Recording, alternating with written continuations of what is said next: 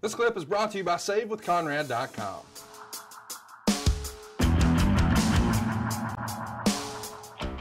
Let's uh let's keep it going here with some other news and notes.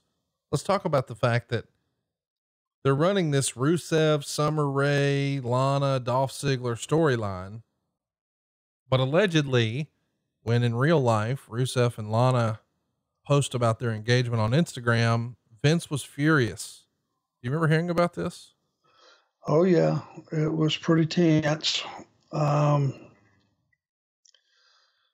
it was one of those things of trying to pitch a storyline on TV, but it gets exposed and you know is just being just that. You know, it's it's hard for me to actually even have an opinion because the minute I go old school and go, they shouldn't have did that, then entire companies or groups of people are exposing the business, you know, on the other side of the tracks. So I don't know what to think, to be honest with you. What do you remember about, uh, you know, Vince's feelings on it? Did, I mean, where is the line? You know, because it, I could see how it could be confusing to, uh, to a young guy when, you know, they're showing the Undertaker on the WWE network and referring to him as Mark Calaway, and he's often been the most guarded. And in this same era, we know that Glenn Jacobs is gonna, you know, make a run to be mayor, but he's also the the demon from hell, Kane. I can see how maybe that would be confusing. Do you think Rusev and Lana should have quote unquote known better, or do you get my perspective that maybe it could be a little confusing considering how everything else seems to be getting a pass? Well, you know, I hate the fact that anything gets out there. You know, I hate the fact that tape shows get exposed before they air. All we're giving away the secrets and we're giving away the entertainment value of our company and the product we're producing. We're our own worst enemy. Okay, it, it's entertainment. We all get it. But it's just like within the confines of a television show or a live event, let's go out there and let's make them believe for two hours and 40 minutes or whatever it is that we've got some contests going on. We got some fights going on. We got a competition going on. And let's stick to that instead of beating the audience over the head with this just entertainment. We're, our, we're our own worst enemy. Uh, in that category, but I agree with you 100%. You know, we should keep everything close to the vest. Social media is very powerful, and I'm learning that a little bit along every week. It's a very powerful tool. It can it can destroy people, it can lift people up, it can do a lot of different things. You know, but let's leave it out of our storylines.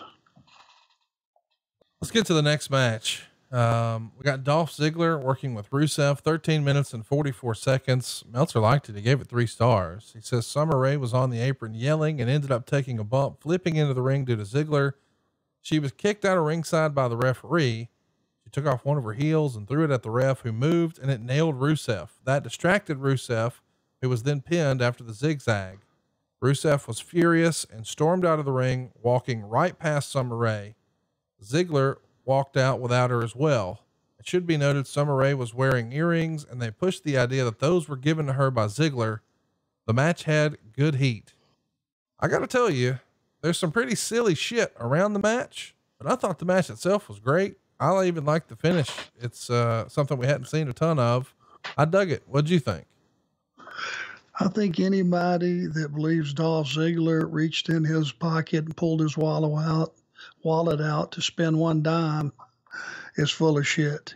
He's tighter than Dick's hat band. You kidding me? he has popped for nothing. That aside, he can also have a match with anybody. And uh, Rusev was, you know, a guy that was coming along and figuring the business out and getting better. You know, from a physicality standpoint, I'm sure Dolph made Rusev looked like a monster, probably unparalleled at any point prior to this. That's one of Dolph's strengths. He makes everybody's stuff just look like a kill shot. So yeah, I can see where people would like the match. I'm sure on paper it looks good, and I'm sure in practice it was good. Hey, hey, it's Conrad Thompson. Thanks for checking out the podcast here on YouTube. Be sure to hit the subscribe button and the notifications bell so you get a notice anytime we upload some new content. And go save yourself some money right now. If you're in a 30 year loan or you have credit card debt, it's not a matter of if I can save you money, it's a matter of how much. Find out right now for free at SaveWithConrad.com.